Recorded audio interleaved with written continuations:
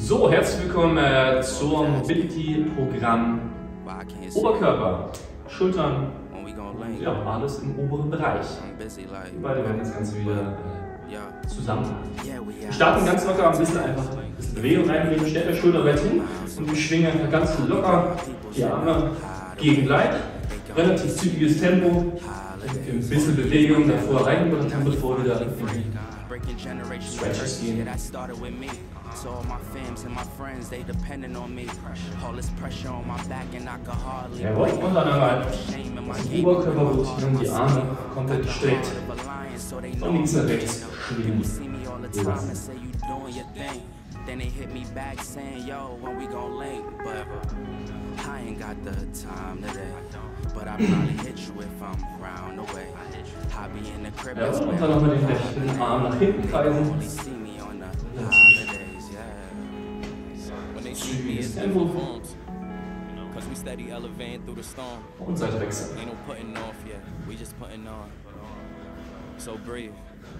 They take your kindness for weakness and your presence for granted. The moment you give up your access, then they Okay, gut, bisschen Dann starten wir rein. Wir haben äh, fünf verschiedene Übungen. Wir machen jede Übung eine Minute. Ähm, ich zeige jetzt erstmal die erste Übung vor und dazwischen gibt es noch eine Pause bei der nächsten Übung. Die erste Übung ist eine einseitige ähm, Sache für den Stretch für den Lat und für den Schulterbereich. Dazu braucht ihr jetzt eine Bank oder eine Form von Erhöhung. Ihr gebt mit einem Ellbogen oben rauf in den Kniestand, die Hand bringt in den Nacken. Und jetzt schaut ihr, dass ihr euch rund macht, also nicht durch, sondern rund macht. Und dann geben wir einen leichten Druck immer für 5 Sekunden aktiv in die Bank rein. Und dann wieder loslassen und entspannt in die Dehnung reingehen. Eine Minute rechts und eine Minute links machen wir das Ganze. Okay, let's go. Eine Ellbogen raufbringen, die andere Hand könnt ihr ganz locker am Boden abstützen. Und schauen, dass wir uns vorne kurz machen, also ein bisschen die Bauchmuskulatur anspannen. Und jeder in seinem Tempo immer so für 5 Sekunden einen leichten Druck geben in die Bank. Und danach wieder für ein, zwei oder drei Atemzüge in den Stretch gehen. Wir schauen aber, dass wir kurz bleiben vorne.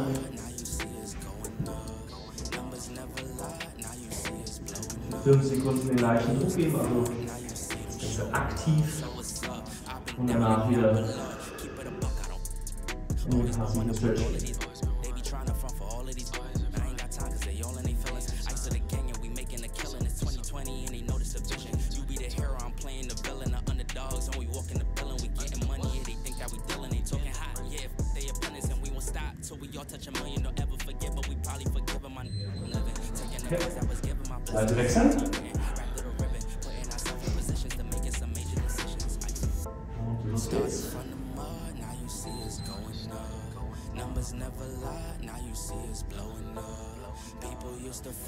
In den passiven Teil seid, dann dass ihr mit der Atmung versucht, lange ausatmen und dadurch versucht auch locker zu lassen, in die Bewegung reinzugehen. Dann wieder die 5 Sekunden einen aktiven Druck den Ellbogen in eure Bank geben.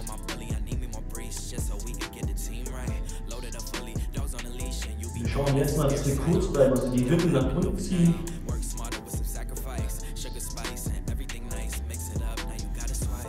Das Becken aufrichten, dem Brustkorb zu unten. Sehr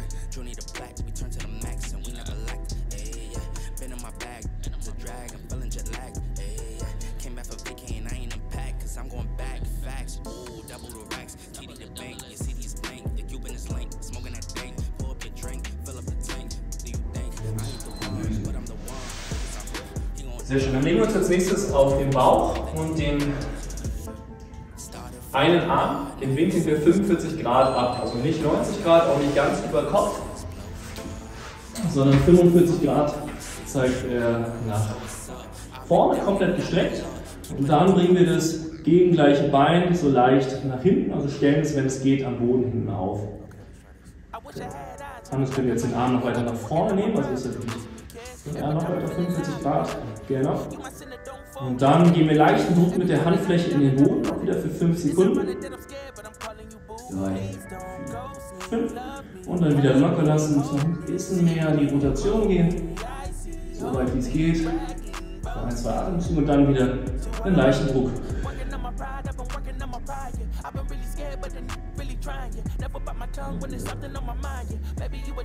Locker lassen wir 5 Sekunden.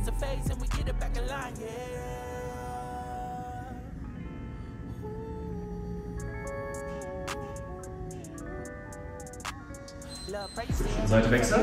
Wichtig dann nochmal, schaut, dass der Arm wieder nicht auf Schulterhöhe ist, sondern so zwischen Überkopf und komplett seitliche Position hat. Und los geht's. Ganz strecken. Und jeder wieder sein Tempo, 5 Sekunden aktiven Druck geben. Und danach wieder für ein, zwei Atemzüge bewusst locker lassen.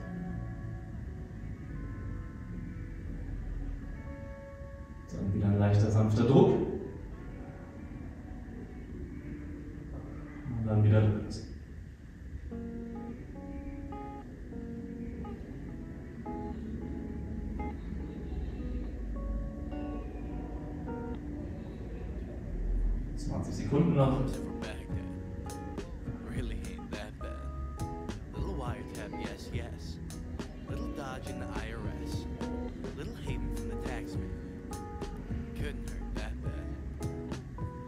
Go hold up, they don't think it's alright. Throw Nola in a trash can. Got a carrot in a big stick. Doing bu bu bu bu bu a big thing. Sing 'em uh uh uh uh. Gut, letzte Sache. Wir legen uns auf den Bauch. Ähm, die Beine einmal durchstrecken, nehmen dann die Arme gerade über Kopf. Schaut erst kurz zu, dann startet ihr, dass ihr die Handflächen in den Nacken legt. Die Ellbogen dabei, soweit es geht, nach oben. Dann bringen wir langsam die Arme in die Streckung. Gestreckt, soweit es geht, oben halten nach hinten und falten dann die Hände, soweit es geht, oben im oberen Brustkorbbereich zwischen den Schulterblättern. Okay? Und da immer im Wechsel nach jeder Wiederholung eine Hand die rechte und die linke Hand oben. Auch da das Ganze eine Minute. Es geht darum, das langsam zu machen, nicht möglichst schnell, um zu schauen, okay, welche Bereiche von meiner Schulter kann ich da gehen, welche kann ich gut kontrollieren. Erstmal oben im Nacken starten, dann langsam die Arme ausstrecken, ganz gestreckt, die Daumen zeigen nach oben, nach hinten und die. Hände so weit es geht oben falten und dann wieder ganz langsam das Ganze zurück. Wir wechseln immer die Hand, die oben ist. Einmal ist die rechte Hand oben, einmal die linke Hand. Genau, ihr könnt es beim Hannes dann sehen. Ja, aber das fühlt sich dann ein bisschen anders an, wenn mal die rechte, mal die linke Hand oben ist. Könnt ihr aber die Stirn auch eigentlich am Boden ablegen, dann müsst ihr nicht so aus dem, aus dem Nackenbereich dagegen halten. Genau, 10 Sekunden noch.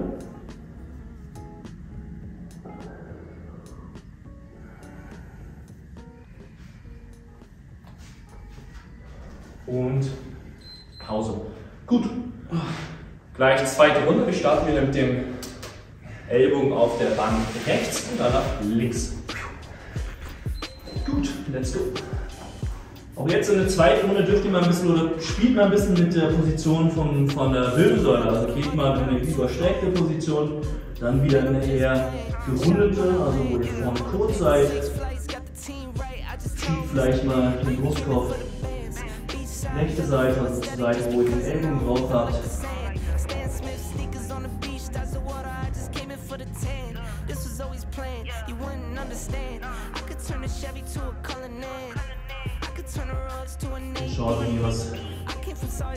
Come fühlt sich gut an. Ist auch nicht für jeden immer gleich, dass genau die Position das Beste ist, um in den Stretch in die Dehnung reinzukommen und dass sich das gut anfühlt. Aber tendenziell sollte sich die Dehnung erhöhen und sich das Ganze mehr wie ein Stretch anfühlt, wenn ihr rund seid und das Becken aufrichtet. Used to whip the Honda in the trunk of that 210s. Just like that too. Ja, und ich thing about the way if you asked me. Never caught the chain, I was always trying to gain green. Riding around with my sexy love wieder an die and 5 Sekunden, den Druck geben und dann wieder zwei, drei Atemzüge. Locker lassen. Die andere Hand, wie gesagt, könnt ihr Kannst du leichter Boden abschützen. I got checks in Hamburg, I might fly out this evening. I got checks in Moscow, I'll be back in a week. If it wasn't for COVID, I'd be in Europe touring. Counting cash from the couch is getting kinda boring. Must be talking about kids when you talk driving foreigns. Say I'm lying and I'm telling stories, or you can't. So, spielen ein bisschen mit der Position von eurer Wirbelsäule. Aber zur Seite schieben, zur Seite.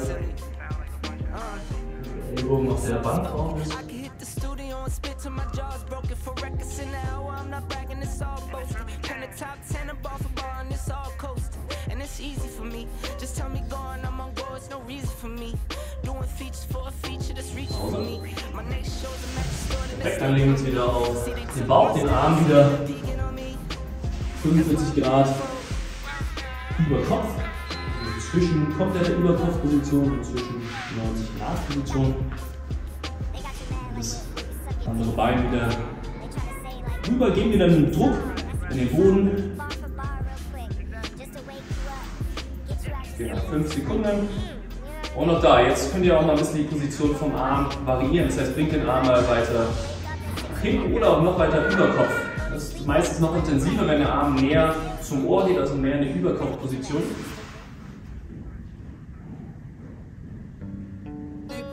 Könnt ihr mal nach jeder aktiven und passiven Phase den Arm ein bisschen in eine andere Position bringen. Mal schauen, wie sich das da anfühlt.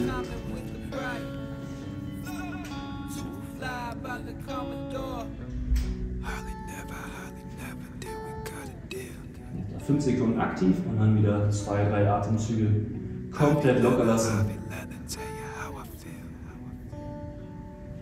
Okay, Pause. Wechseln.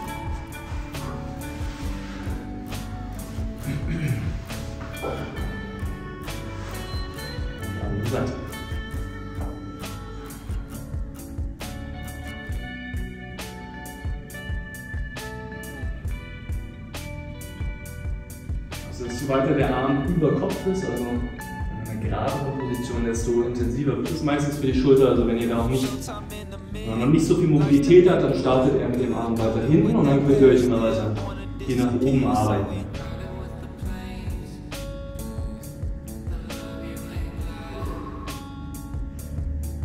Es geht auch um dieses bewusste, das bewusste Anspannen, aber auch dann wieder komplett locker lassen.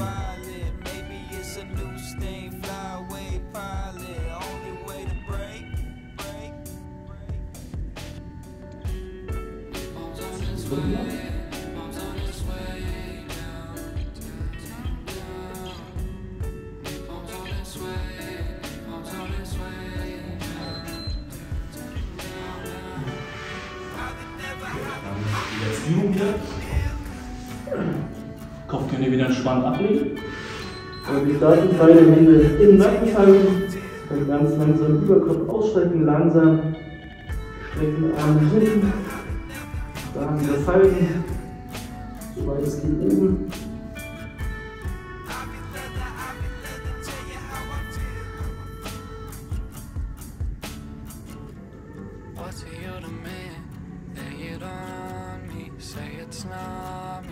Don't understand what you're saying softly. You say I'm numb. Yeah, yeah. I'm a misled. Black satin envy.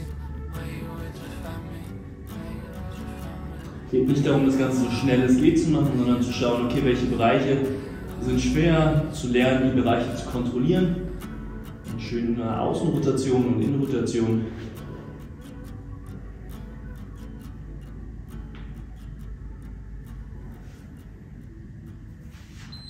Leo und Pause. Gut. Dann äh, kurz aufstehen, ein bisschen die Schultern kreisen, lockern, mal ein bisschen reinspringen, bis es anfühlt. Genau, wichtig ist auch zum Start, äh, nicht zu intensiv in alles reinzugehen. Ähm, also Schmerzen soll das Ganze nicht verursachen, intensiv kann sein, aber nicht zu. Gut, dann geht es noch weiter an die Unterarme und die Finger. Ähm, dazu können wir gleich in den Vierfüßlerstand kommen. Und die starten, dass wir jetzt die Fingerspitzen zu uns zeigen lassen, zu unseren Knien. Und dann einfach sanft und gestreckten Ellbogen die Schultern nach hinten schieben, den ganzen Schwerpunkt nach hinten bringen. Quarantined way before quarantine. Trapped inside the basement Unterarme und Handgelenk werden oft übersehen, aber das ist auch bei vielen Menschen ein Thema durch das ganze einseitige Arbeiten auf einem Laptop oder der Maus.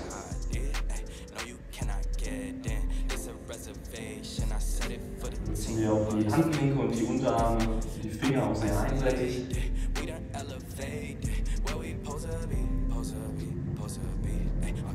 Situation ain't my final destination. That's just how I see it. Only her I stay isolated. Only her, only her I stay isolated. Und dann setzen wir jetzt die Außenseite der Handfläche im Boden ab. Da könnt ihr auch ein bisschen näher mit den Knien zu den Handflächen gehen. Schaut, dass ihr die Ellbogen weit als für euch möglich streckt. Die Finger richtig in den Boden reindrücken aktiv und dann das Ellbogengelenk drehen. Das heißt einmal nach vorne. Und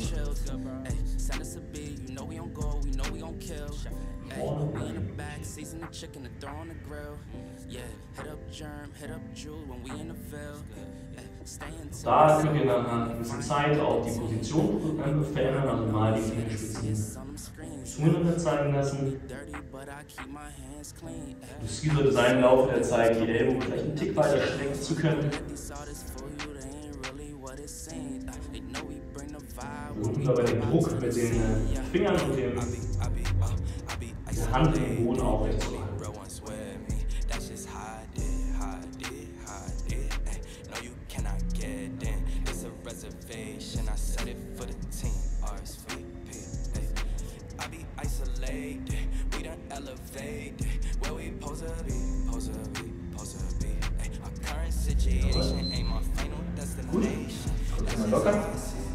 Dann stellen wir wieder die äh, Handflächen auf, dass die Finger zu uns zeigen. Und jetzt lösen wir den Handball und sind nur noch auf unseren Fingern. Das heißt, jetzt haben wir mehr eine Dehnung für die Finger und schieben dann die Ellbogen nach hinten zu unseren Oberschenkeln. Und der Handball darf sich lösen, aber die Finger und genau alle Grundgelenke von den Fingern bleiben am Boden.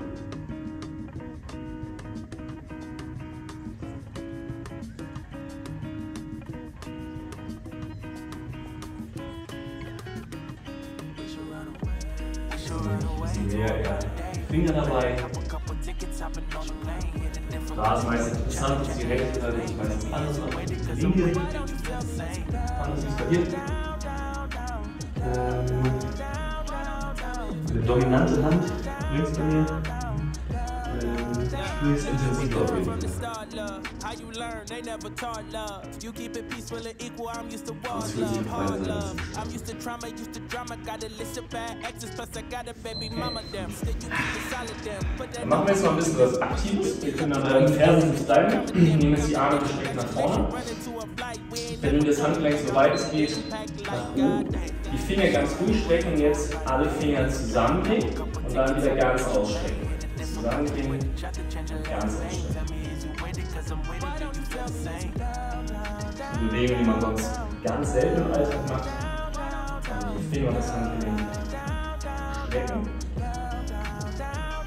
Schauen wir, ob die Ellbogen gestreckt lassen. I'll be honest. 30,000 feet and we can lead the world behind us. Cause we keep it raw. I'ma hit you with I'ma hit you with my soul. I'ma hit you with these goals. You should probably leave your phone. Ain't no service where we go. But you can't be iffy, iffy, baby. Tell me where you at. You can choose the destination. Put your finger on the map. Mm-hmm. We should run away to a brighter day. Pack a bag, hop a couple tickets. Da direkt an den Daumen mitzunehmen. Daumen. und lockern. Gut, letzte Sache. Jetzt gehen wir wieder mit den Händen in eine Stützposition. Könnt ihr direkt mitmachen. Genau, und jetzt bauen wir mit den Fingern und den ganzen Handbeinen Druck auf, als würden wir uns nach oben drücken wollen. Also dass wir aktiv jetzt Unterarmmuskeln anspannen, also wir drücken richtig fest mit jedem einzelnen Finger rein. Und wir können auch die Schulter ein bisschen nach vorne schieben über die Fingerspitzen. Wir halten diesen Druck einfach.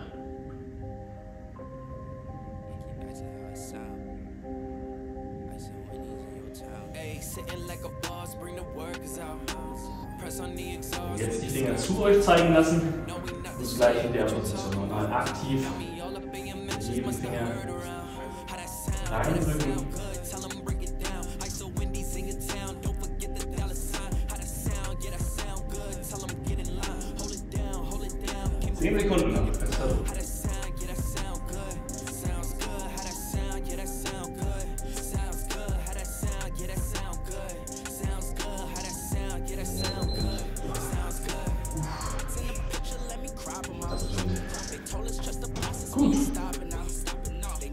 Jetzt vom Mobility-Programm Oberkörper und Schultern und Unterarm. Schön, dass ihr dabei wart. Bis zum nächsten Mal.